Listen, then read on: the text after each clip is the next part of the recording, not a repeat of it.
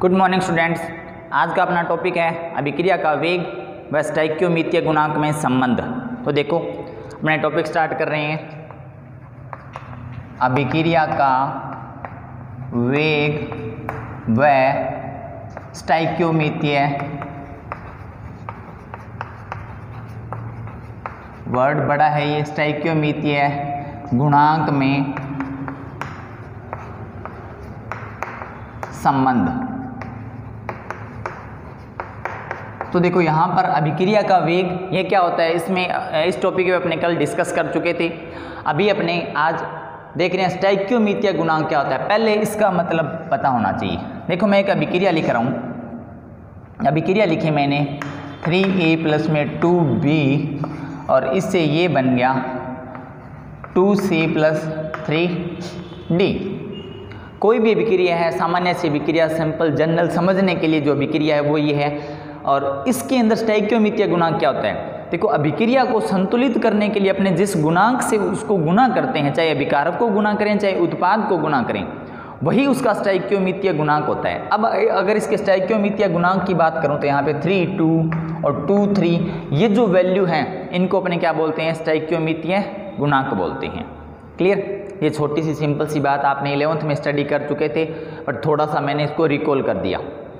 अब देखो अब मैं बात करता हूँ अभिक्रिया का वेग व स्टाइक्योमितीय गुणांक में क्या संबंध होता है और वो कैसे एक दूसरे से जुड़े हुए होते हैं। मैंने एक समीकरण लिख रहा हूँ, लिख ली। N two plus three H two और यहाँ से फॉर्मेशन हुआ टू एन एच थ्री मतलब अमोनिया बन गई। क्या बन गई? अमोनिया बन गई। अब कल अपनों ने पढ़ा था कि अभिक्रिया का वेग क्या होता है। किसी भी अभिक्रिया का वेग होता है, सांद्रता में परिवर्तन बटा परिवर्तन में लगा समय। ठीक है? तो देखो, अभिक्रिया का वेग जो है ना, उसको अगर अपने को कैलकुलेट करना हो तो उसको मैं कैसे लिखूँगा? देखो, अभिक्रिया का वेग, अब अभिकारकों से बता सकते हैं अपने और उत्पाद से भी बता सकते हैं। अभिकारकों में भी अगर अलग अलग अभिकार का तो अपने अलग अलग अभिकारकों से अभिक्रिया का वेग बता सकते हैं। कैसे बताएँगे? देखो फॉर्मूला लिखा था मैंने डेल्टा सी अपॉन में डेल्टा टी लिखा था। क्या लिखा था? डेल्टा सी अपॉन में डेल्टा टी लिखा था। तो यहाँ पे डेल्टा सी नहीं लेंगे। यहाँ पे अगर नाइट्रोजन के हिसाब से अगर अपने अभिक्रिया का वेग चेक करना है तो क्या आएगा? डेल्टा एन टू बटा में डेल्टा टी। और यहाँ पर जो अभिकारक हैं, उसके लिए मैंने आपको बताया था कि अभिकारक के वेग को काउंट करने के लिए यहाँ पर निशान लगाया जाता है किसका? माइनस का। सबसे खास बात ये। अब मैंने इसको ऐसे क्यों लिखा? जब अभिकारकों के जो भी अभिकारक हैं, उसको अगर मैं एक बड़े ब्रैकेट में बंद कर देता हूँ तो वो हो जाती है उसकी सांद्रता। सांद्रता को डिनोट करने के लिए मैंने इसको ऐसे लिखा है। तो जब किसी भी अभिकारक को किसमें बड़े ब्रैकेट में बंद करूँगा, इसका मतलब होगा सांद्रता। और सांद्रता में परिवर्तन बटा परिवर्तन में लगा समय। अभिकारक की सांद्रता में परिवर्तन हो रहा है तो यहाँ पे मैंने निशान लगा दिया किसका? माइनस का। क्लियर? अब अगर मैं जो अभिक्रिया का वेग है वो पूरी अभिक्रिया का वेग समान रहेगा। उसमें चाहे अपने नाइट्रोजन से निकालें चाहे हाइड्रोजन से निकालें चाहे अमोनिया से निकालें किसी से भी अगर अभिक्रिया का वेग निकालते हैं तो अभिक्रिया का वेग एक, समान प्राप्त होता है। अब देखो अब मैं बात कर रहा हूँ हाइड्रोजन के लिए अभिक्रिया का वेग क्या होगा? हाइड्रोजन के लिए अभिक्रिया का वेग अगर अगर मैं लिखूँ तो ऐसे ही लिखूँगा। ये इसकी सांद्रता हाइड्रोजन की सांद्रता बटा में सांद्रता परिवर्तन में लगा समय। यहाँ पे निशान मैंने लगा दिया किसका? माइनस का। माइनस का निशान क्यों लगाया? क्योंकि अभिकारक हैं। अभिकारक हैं तो उनकी सांद्रता क्या हो रही है? कम हो रही है। पर यहाँ पर एक वैल्यू लिखी हुई है। तीन, इसको स्टाइक्योमितीय गुणांक बोला जाता है। क्या बोला जाता है? स्टाइक्योमितीय गुणांक। इसको मैं ऐसे लिखूँगा। वन बाई थ्री ऐसे लिखना होता है। ठीक है? तो ये बात ध्यान रखनी है कि जो भी स्टाइक्योमितीय गुणांक होगा, उसको अपने कैसे लिखेंगे? ऐसे बटा में लिखेंगे। बराबर। अब ये तो हो गया अभिकारकों के लिए। अगर मैं उत्पाद के लिए अभिक्रिया के वेग की बात करता हूँ तो वो क्या आएगा? देखो, वो आएगा उत्पाद की सांद्रता में परिवर्तन। ये सांद्रता में परिवर्तन, बट्टा परिवर्तन में लगा समय। इसके साथ जो भी स्टैक्योमितीय गुणांक है, उसको ऐसे लिखना होता है। और अगर उत्पाद की सांद्रता में परिवर्तन कर रहे हैं अपने तो यहाँ पर निशान किसका आएगा? प्लस का आएगा। किसका निशान आएगा? यहाँ पर प्लस का आएगा। तो ये हो गया अभिक्रिया का वेग। अब मैंने इन सबको बराबर इसलिए लिखा है क्योंकि एक अभिक्रिया में अगर आप चाहे अभिकारक से अभिक्रिया का वेग निकालो, चाहे उत्पाद से अभिक्रिया का वेग निकालो सेम सेम ही आएगा। क्लियर अब यहाँ पर कुछ इंपॉर्टेंट बात है। और वो क्या है? देखो, ये तो था अभिक्रिया का वेग। अब आपको ये पता है कि नाइट्रोजन और हाइड्रोजन है ना, उसकी अभिक्रिया के साथ साथ, समय के साथ, उस साथ, उसकी सांद्रता में कमी हो रही है और उत्पाद की सांद्रता जो है वो क्या हो रही है? बढ़ रही है। तब अपने इसके लिए क्या करेंगे देखो, यहाँ पर मैं ऐसे लिख सकता हूँ, ये इंपॉर्टेंट बात है थोड़ा सा इसमें और अब जो बात बताने जा रहा हूँ, उसमें डिफरेंस होगा चेक करना क्या होगा।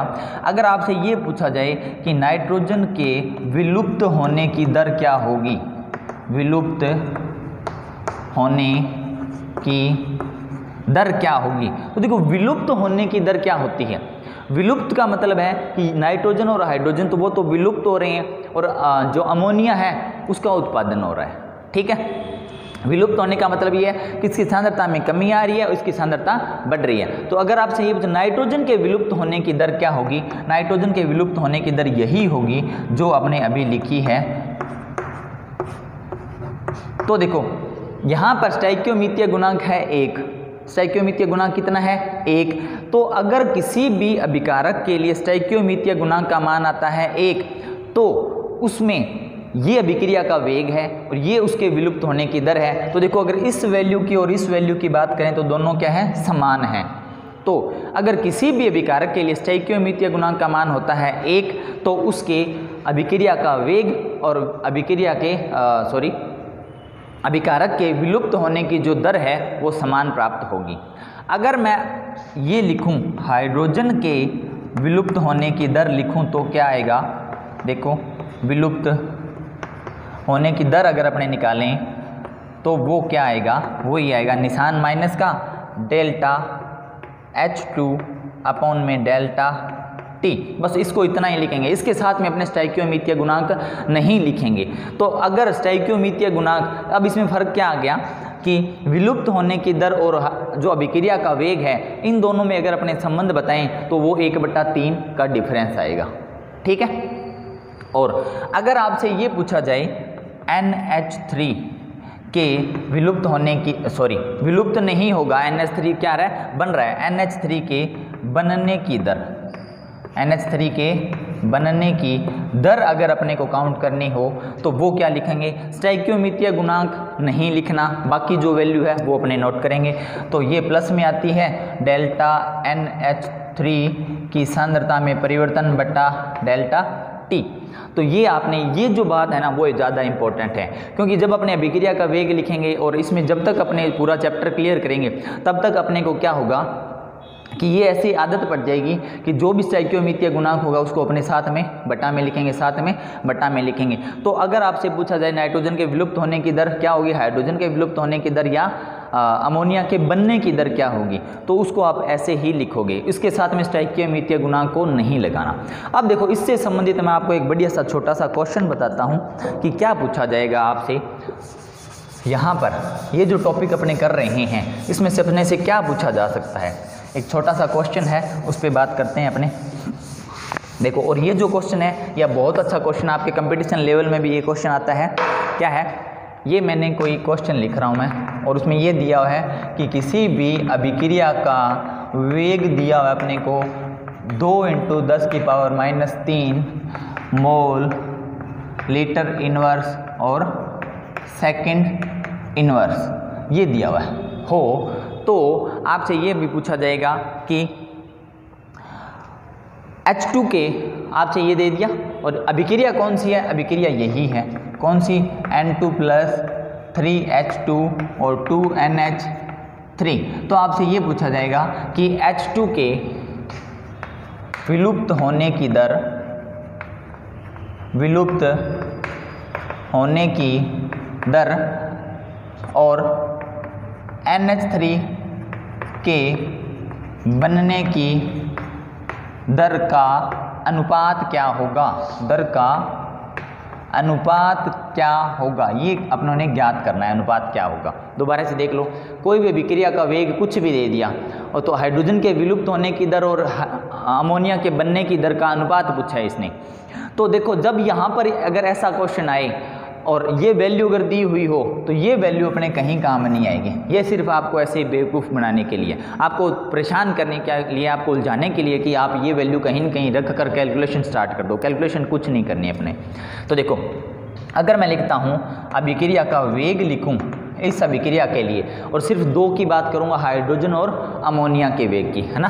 तो इसका वेग कितना था? वन बाई थ्री माइनस और डेल्टा एच टू अपॉन में डेल्टा टी और इधर क्या था? एक बट्टा दो और delta sorry N H three बट्टा में डेल्टा टी तो ये अभिक्रिया का वेग था।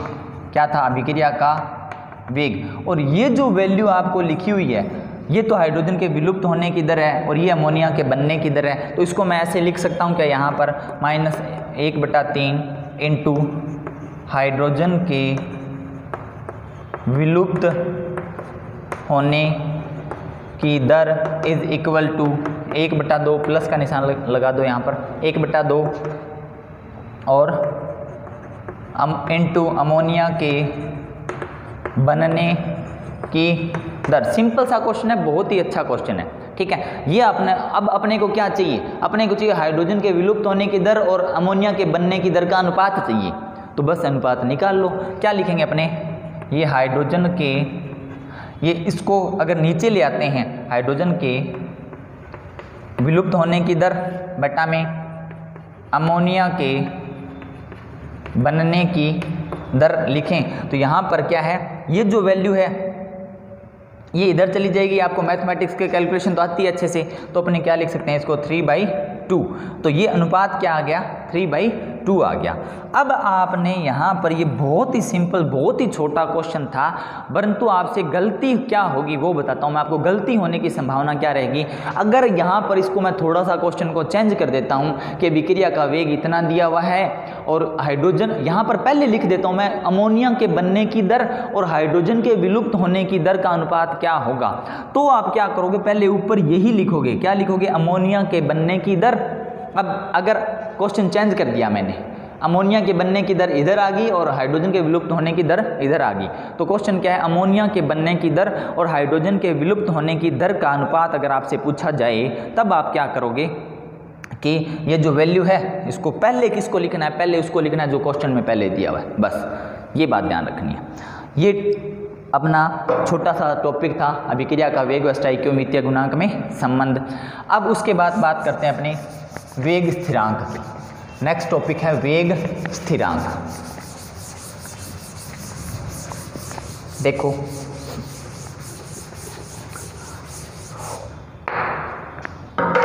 एक एग्जांपल लेते हैं अपने। कोई ए प्लस बी है और वो किसमें बदल रहे हैं? उत्पाद में बदल रहे हैं। इसकी सांद्रता 10 मोल है, इसकी सांद्रता 10 है। मतलब 10 मोल ले लो 10 कण ले लो 10 अणु ले लो, कुछ भी मान सकते हो। और आपको कल ये पता है, ये 9 में बदल गया था, ये धीरे धीरे कम हो रहा है और ये ज़ीरो था, एक बन गया, दो, तीन, चार, पाँच, ऐसे ये धीरे धीरे क्या हो रहा है? बढ़ रहा है। उत्पाद की सांद्रता बढ़ रही है, अभिकारकों की सांद्रता क्या हो रही है? कम हो रही है, ये आपको पता है। तो देखो, अगर मैं बात करूँ अभिक्रिया के वेग की।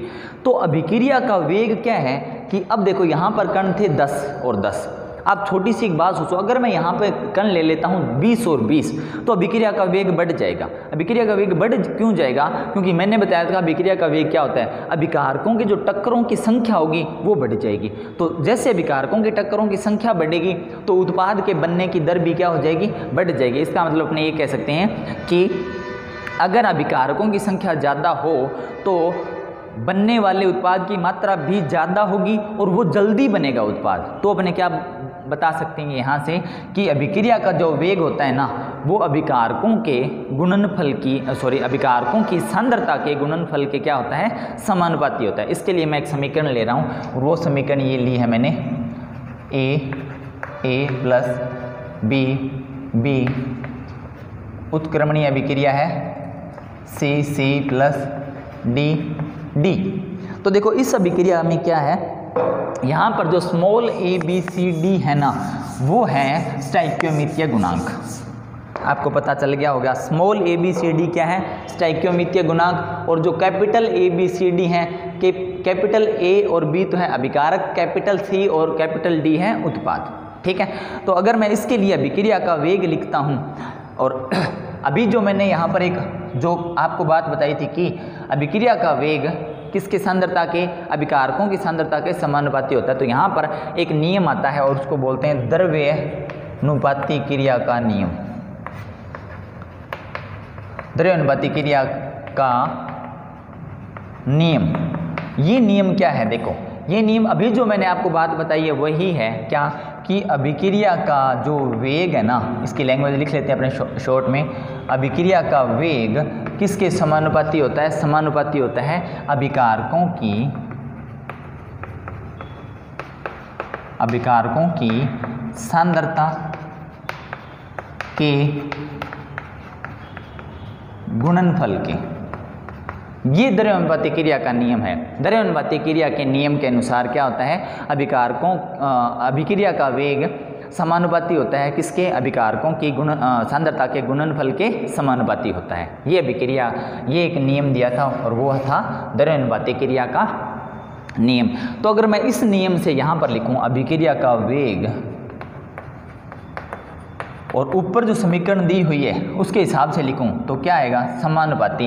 यहाँ पे अभिकारक कौन कौन से हैं? ए और दूसरा अभिकारक कौन सा है? बी ठीक है? ये जो ए और बी को जब मैं ब्रैकेट में, बड़े ब्रैकेट में बंद कर देता हूँ, इसका मतलब क्या हुआ? कि ये ए और बी की सांद्रताएँ लिखी है मैंने। क्लियर अब, यहाँ पर कुछ स्टाइक्योमितीय गुणांक भी अपने साथ में तो मैं यहाँ पर लिख रहा हूँ एक्स और वाई अब देखो एक्स और वाई क्या चीज़ है, अभी बताता हूँ, या इसको ज़्यादा क्लियर अपने करेंगे नेक्स्ट टॉपिक में। और यहाँ पर जो एक्स और वाई लिखा है मैंने, वो ए और बी के बराबर भी हो सकते हैं और ए और बी से अलग भी हो सकते हैं। तो एक्स और वाई की पहले बात करते हैं, क्या है? एक्स और प्लस जो वाई होता है, उसकी वैल्यू होती है एन एक्स प्लस वाई को अपने क्या मान सकते हैं? एन और ये जो एन है, ये है अभिक्रिया की कोटि। अभिक्रिया की क्या है? कोटि है। और अभिक्रिया की कोटि अपना नेक्स्ट टॉपिक होगा। उसमें अपने डिस्कस करेंगे इसको जा, और ज़्यादा। तो ये आ गया। अगर मैं आपको पता है समानुपाती का निशान हटाता हूँ अभिक्रिया का वेग समानुपाती का निशान हटाता हूँ बराबर का निशान लगाऊँगा और यहाँ पे क्या लिखूँगा? के लिखूँगा। क्या लिखूँगा? के और ये मैंने लिख दिया एक्स बी की पावर वाई। और जो के है, वो क्या है? उसको बोल सकते हैं अपने वेग नियतांक। के के नाम बताओ ना या विशिष्ट अभिक्रिया वेग। विशिष्ट अभिक्रिया वेग बोल सकते हैं अपने इसको। के क्या है? अभी वेग नियतांक या विशिष्ट अभिक्रिया वेग है। क्लियर अब देखो, यहाँ पर अभिक्रिया का वेग और के अपने को ये मिला और ये ही है। ये है वेग नियतांक। वेग नियतांक का मतलब यहाँ पर क्या लिया अपनों के से लिया है। तो देखो आगे अपने बात करते हैं कि के की क्या परिभाषा हो सकती है। के की परिभाषा बनाने के लिए मैं लिख रहा हूँ यहाँ पर, अगर ए की सांद्रता मैंने ले ली एक और बी की सांद्रता भी मैंने क्या ले ली एक तो क्या हो जाएगा? ये हो जाएगा अभिक्रिया का वेग इज़ इक्वल टू क्या हो जाएगा? के यहाँ से अपने क्या लिख सकते हैं? यहाँ से अपने लिख सकते हैं के की परिभाषा। और के की परिभाषा क्या होगी? वो लिख रहे हैं अपने।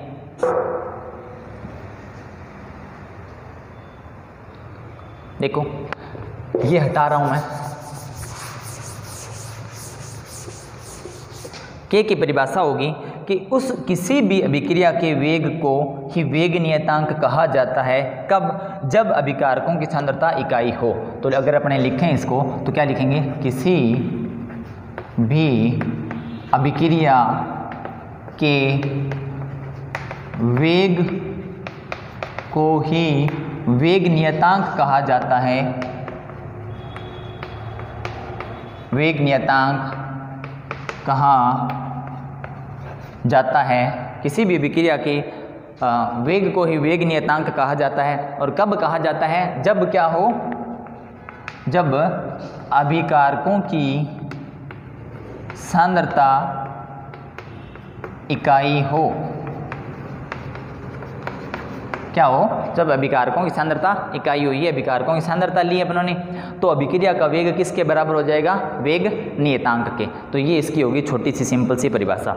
अब अगर मैं ये लिखता हूँ कि जो के है ना के के गुणों की बात करते हैं के क्या होता है, कैसे कैसे निर्भर करता है? सबसे पहली बात, अभिक्रिया का वेग या, अपने ऐसे बोल सकते हैं कि वेग नियतांक सॉरी अभिक्रिया का वेग वेग नियतांक पर निर्भर करता है। पहली पॉइंट इसको क्या लिख सकते हैं? अभिक्रिया का वेग किस पर निर्भर करता है? के पर निर्भर करता है। देखो, अगर के का मान ज़्यादा हुआ तो ये वैल्यू भी ज़्यादा आएगी। मतलब अभिक्रिया का वेग वेग नियतांक के क्या होता है? समानुपाती होता है। ठीक है? जितना अभिक्रिया का जो के जितना के का मान बढ़ेगा अभिक्रिया का वेग उतना ही बढ़ जाएगा। दूसरी बात। के जो है ना, वो टी पर निर्भर करता है। टी क्या होता है? ताप। तो अगर अपने ताप बढ़ाएँगे तो के बढ़ेगा। जब के बढ़ेगा तो अभिक्रिया का वेग भी बढ़ जाएगा। क्लियर उसके बाद आगे वाला पॉइंट बात करते हैं अपने। तीसरा के जो है ना, वो अभिक्रिया की कोटि पर भी निर्भर करता है। किस पर? अभिक्रिया की कोटि पर निर्भर करता है। ये क्या होगा? ये अपने अभिक्रिया की कोटि में ही इसको डिस्कस करेंगे, ठीक है? एक पॉइंट और बात करते हैं अपने, के के कुछ गुण पढ़ रहे हैं और वो क्या क्या होते हैं देखो। अब इसका जो नेक्स्ट गुण है, वो है के जो है ना, वो जो भी अभिकारक होंगे या क्रियाकारक होंगे, उनकी सांद्रता पर देखो अभिक्रिया का वेग के पर निर्भर करता है और के टी पर निर्भर करता है और के जो है वो अभिक्रिया की कोटि पर भी निर्भर करता है और अच्छा ये बीच में रह गया। के है अभिकारकों की सांद्रता पर निर्भर नहीं करता। ये ध्यान रखना कि के जो है ना वो अभिकारकों की सांद्रता पर निर्भर नहीं करता। किस पर निर्भर करेगा? अभिक्रिया की कोटि पर और किस पर निर्भर करेगा? टी पर। ये कुछ छोटे छोटे सिंपल से पॉइंट थे, के के कुछ गुण थे, और इन गुणों को अपने जैसे जैसे इसी चैप्टर में आगे नेक्स्ट टॉपिक के अंदर डिस्कस करते जाएँगे जैसे जैसे ये आते जाएँगे। अब देखो, आगे बात करता हूँ मैं। यहाँ पर वेग नियतांक की इकाई। और ये सबसे इम्पोर्टेंट टॉपिक है। आज के इस लेक्चर का ये इम्पोर्टेंट टॉपिक है। यहाँ से आपको कंपटीशन लेवल पर भी क्वेश्चन पूछे जाते हैं। तो इसको ध्यान से पढ़ना, आप अच्छे से स्टडी करना। देखो। टॉपिक है के की इकाई। के की इकाई क्या होती है? देखो, यहाँ पर मैंने अभी थोड़ी देर पहले ये लिखा था, आपको ये बताया था, अभिक्रिया का वेग बराबर होता है के के और एक्स और बी वाई ये मैंने समीकरण लिखी थी। ये मैंने क्या लिखी थी? समीकरण लिखी थी। ए और बी क्या है? यहाँ पर अभिकारकों की सांद्रता। और x और y को मैंने बताया था, x plus Y is equal to N और n क्या होता है? अभिक्रिया की कोटि होता है। अभिक्रिया की क्या होता है? कोटि होता है। क्लियर तो इसको मैं ऐसे लिख सकता हूँ क्या? अभिक्रिया का वेग इज़ इक्वल टू के और यहाँ पर मैंने लिख दिया सांद्रता। क्या लिख दिया मैंने? सांद्रता लिख दिया। और x और y की जगह मैं क्या लिख सकता हूँ? N लिख सकता हूँ। ये लिख दिया मैंने। क्लियर अब अगर मैं k को इस साइड ले आता हूँ तो फॉर्मूला क्या बनेगा? अभिक्रिया का वेग बटा में सांद्रता और इसकी पावर n इसकी पावर क्या बनेगी? N बनेगी। क्लियर ये मत कर देना कि इसकी पावर को नीचे लेके आए तो माइनस हो जाएगा। ये नहीं होगा यहाँ पे, ध्यान रखना। अभिक्रिया के वेग का मात्रक आपको पता है, आपको बताया हुआ है। क्या होता है? मोल प्रति लीटर प्रति सेकंड। तो अपने क्या लिख सकता हूँ मैं इसको? मोल, या रुको एक बार। इसको मैं लिखता हूँ। अभिक्रिया के वेग का मात्रक अगर लिखूँ तो ऐसे लिख लूँ क्या? सांद्रता इंटू समय इनवर्स और सांद्रता क्या होता है? मोल प्रति लीटर, यहाँ लिख लेते हैं अपने अलग से। सांद्रता बराबर क्या होता है? मोल और लीटर इनवर्स। सांद्रता बराबर क्या होता है? मोल और लीटर इनवर्स। ये और बट्टा में अपने पास ये है पूरा कर दो इसको। सांद्रता की पावर एन अब देखो, यहाँ पे भी सांद्रता है, यहाँ पे भी सांद्रता है। अब मैं इसको ऊपर लेके जाऊँ तो मैं इसको ऐसे लिख सकता हूँ क्या? सांद्रता, ये पहले वाला लिख दिया इनटू समय इनवर्स इनटू सांद्रता की पावर माइनस एन सांद्रता की पावर क्या लिख लिया मैंने? माइनस एन अब अगर मैं दोनों सांद्रताओं को इकट्ठा कर दूँ तो ये लिख लूँ क्या? सांद्रता वन माइनस एन इंटू समय इनवर्स तो ये के का एक सिंपल सा मात्रक आ गया। अब ये के का मात्रक कहीं नहीं आएगा। आपको इस के के मात्रक से अपने यूज़ करेंगे और वो किसके लिए यूज़ करेंगे? अभिक्रिया की कोटि के लिए देखेंगे।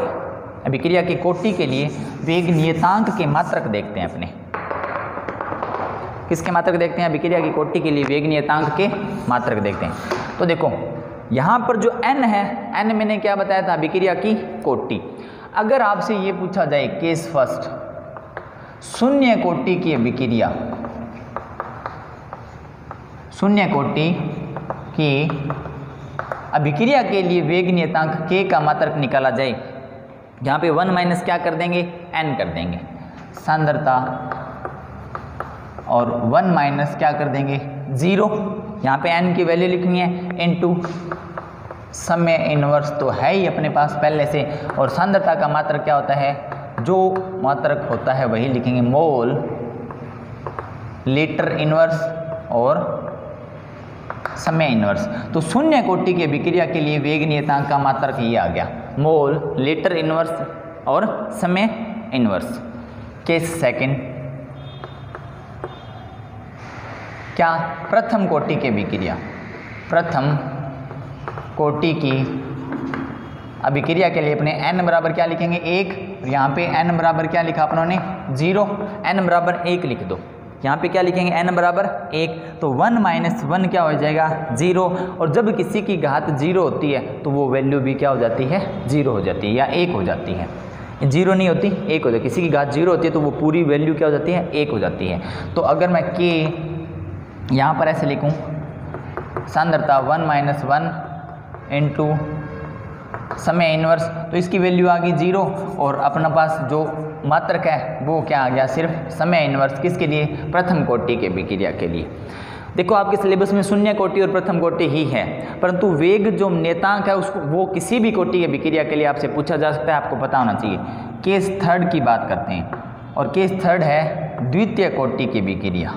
द्वितीय कोटि की विक्रिया के लिए एन बराबर क्या लिख देते हैं? दो। तो यहाँ पर n बराबर क्या लिख लेंगे? दो लिखेंगे। तो k इज़ इक्वल टू क्या आ जाएगा? सांद्रता वन माइनस टू इंटू समय इनवर्स और यहाँ पे कैसे लिख क्या लिख सकते हैं? देखो, यहाँ पे क्या लिख सकते हैं? यहाँ पे लिख सकते हैं वन माइनस टू का मतलब क्या हो गया? कि जो सांद्रता है वो इनवर्स और समय भी क्या है?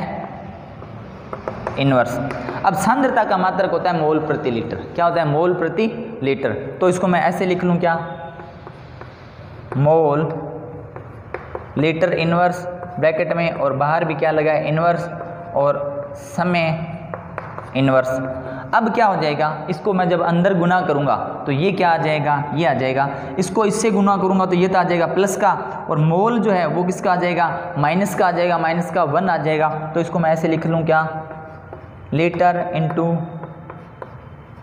मोल इनवर्स और समय इनवर्स तो ये अपना मात्रक आ गया। किसके लिए? द्वितीय कोटि की विक्रिया के लिए। किसके लिए आ गया? द्वितीय कोटि की विक्रिया के लिए ये मात्रक आ गया। तो देखो, ये के के मात्रक हैं। किसके मात्रक हैं? के के। तो आपसे ये पूछा जा सकता है कि प्रथम कोटि की विक्रिया के लिए वेग नियतांक का मात्रक, द्वितीय कोटि के विक्रिया के लिए मात्रक, तृतीय कोटि की विक्रिया के लिए मात्र कैसे भी पूछा सकता है, शून्य कोटि, प्रथम कोटि, द्वितीय कोटि, तृतीय कोटि, कोई कोई सी भी, किसी भी कोटि के लिए आपसे वेग नियतांक का मात्रक पूछा जाता है, परंतु आपके सिलेबस में शून्य और प्रथम कोटि की अभिक्रियाएँ ही हैं। अब देखो, इससे रिलेटेड छोटा सा एक क्वेश्चन करता हूँ। बहुत ही सिंपल सा ईजी सा क्वेश्चन देखते हैं अपने। आपसे ये पूछा जाएगा कि क्वेश्चन दे दिया। प्रथम कोटि के लिए वेग का मात्रक। प्रथम कोटि की अभिक्रिया के लिए वेग का मात्रक क्या होगा? तो प्रथम कोटि के लिए अभिक्रिया के लिए वेग का मात्रक आपको क्या दिख रहा है? समय इनवर्स, ये तो वेग नियतांक का है भाई।